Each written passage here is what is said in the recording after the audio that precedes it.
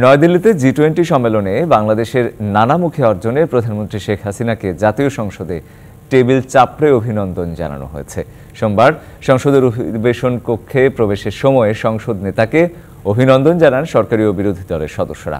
পৌনে পাঁচটায় জাতীয় সংসদের কার্যক্রম শুরু হয়।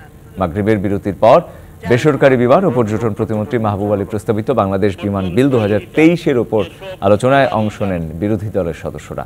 বিলের উপর জাতীয় পার্টির ফখরুল ইমামের আলোচনা চলাকালে সন্ধ্যায় সংসদ অধিবেশন কক্ষে যোগ দেন প্রধানমন্ত্রী। এ সময় বিরোধী দলীয় চিফ হুইপ মশিউর রহমান রাঙ্গা দাঁড়িয়ে টেবিল চাপড়াতে শুরু করেন। পরে অন্যান্য সংসদ সদস্যরাও টেবিল চাপড়ে প্রধানমন্ত্রীকে অভিনন্দন জানান। কিন্তু অডিটে গিয়ে পরে দেখা গেছে ভারপ্রাপ্ত সংস্কৃতি প্রতিমন্ত্রী